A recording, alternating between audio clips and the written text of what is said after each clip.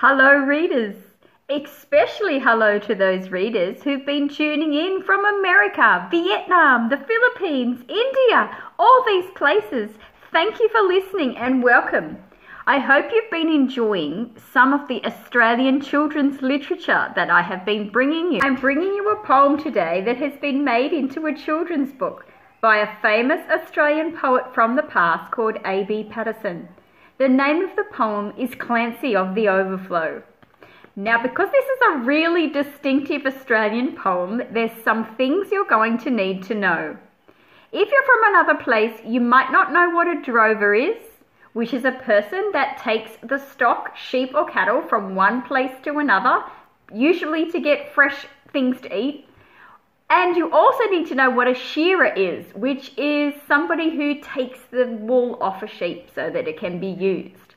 Now, this is an amazing poem, but there's some things that make it a bit tricky to understand, and I'm going to help you with them. One of them is the most amazing words that the poet uses. Look at all these words that you are going to explore and discover in this poem and I'll help you with them. I've given you little explanations on the screen for some of the words so that you can really understand. And also, the kind of the rhythm of this poet is a bit different, and so I've tried to read it to you in a really conversational tone so that you can kind of grasp the meaning for it. It's a funny, amazing, interesting poem, and the thing I like best about it is are you sometimes sitting at your desk at school or work or wherever you are thinking, hmm, I would really like to be at the beach, or I'd really like to be skiing, or I'd really like to be on a picnic, or I'd really like to be somewhere that's not here. So, this poem is written from the perspective of a lawyer. So, the main character in the story, or the main narrator, the person telling the story, is a young lawyer. We don't know his name, he's just writing about this fantasy character called Clancy of the Overflow that he's dreaming of. The thing also that is so interesting is it is possibly based on a character that he met. So we think, hmm, there was a Clancy of the Overflow perhaps.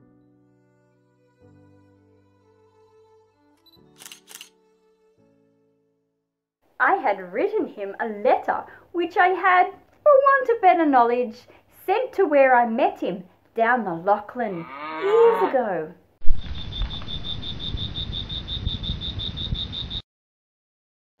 He was shearing when I knew him, and so I sent the letter to him, just on spec, addressed as follows Clancy of the Overflow.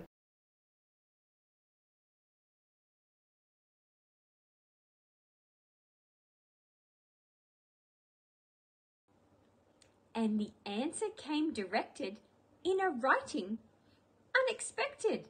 And I think the same was written in a thumbnail dipped in tar. 'Twas his shearing mate that wrote it, and verbatim I will quote it. Clancy's gone to Queensland droving, and we don't know where he are. In my wild, erratic fancy, visions come to me of Clancy, gone a droving down the Cooper, where the western drovers go.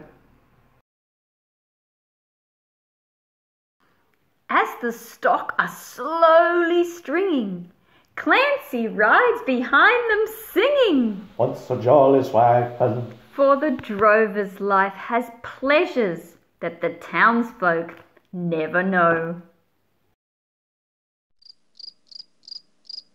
And the bush has friends to meet him, and their kindly voices greet him. In the murmur on the breezes, and the river on its bars.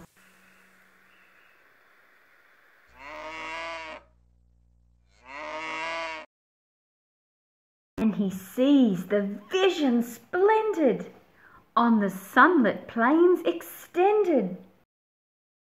And at night, the wondrous glory of the everlasting stars. I am sitting in my dingy little office where a stingy ray of sunlight struggles feebly down between the houses tall. And the fetid air and gritty of the dusty, dirty city through the open window floating spreads its foulness over all. And in the place of lowing cattle, I can hear the fiendish rattle of the tramways and the buses making hurry down the street. and the language uninviting of the gutter children fighting comes fitfully and faintly through the ceaseless tramp of feet. And the hurrying people daunt me, and their pallid faces haunt me as they shoulder one another in their rush and nervous haste with their eager eyes and greedy, and their stunted forms and weedy. For townsfolk have no time to grow, they have no time to waste. And I somehow rather fancy that I'd like to change with Clancy, have a turn at droving where the seasons come and go, while he faced the round eternal of the cash book and the journal but I doubt he'd suit the office.